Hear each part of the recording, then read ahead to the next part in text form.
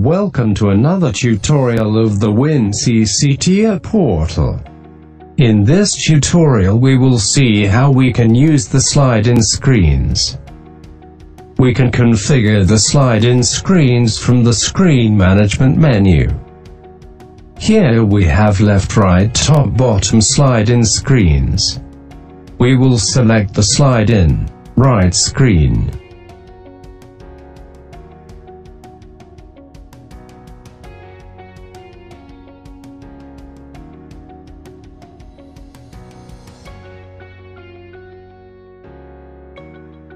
Now we will go to the general properties of the screen and enable it otherwise it will not work.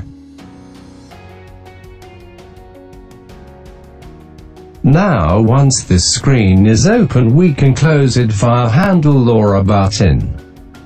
We can drag and drop a button on the slide screen.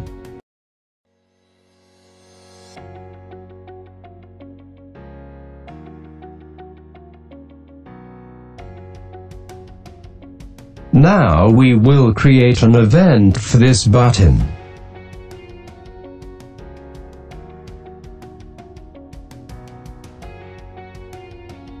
When we press this button slide-in screen will go back. To do this we will set the mode to off.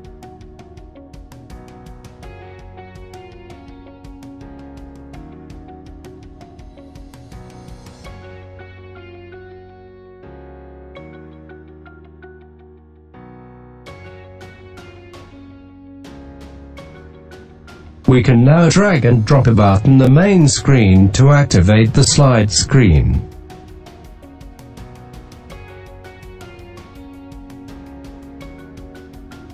To activate the slide screen we will create press event for the slide screen and set mode to on.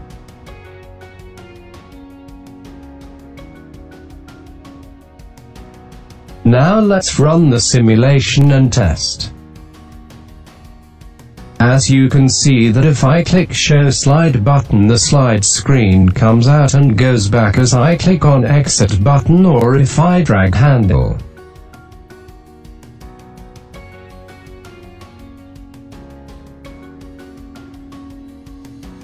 Let's see what else we can do with slide-in screens.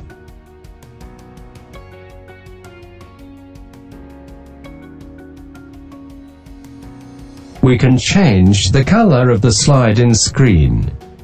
We can add some buttons and in and output field on the slide-in screen.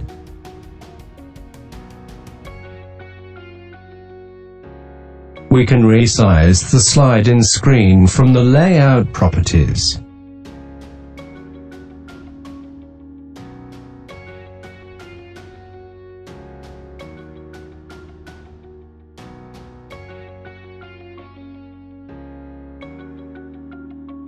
Let's run again the simulation. As you can see that if I click show slide button the slide screen comes out and goes back as I click on exit button or if I drag handle. So this is today's tutorials please subscribe my channel if like this video.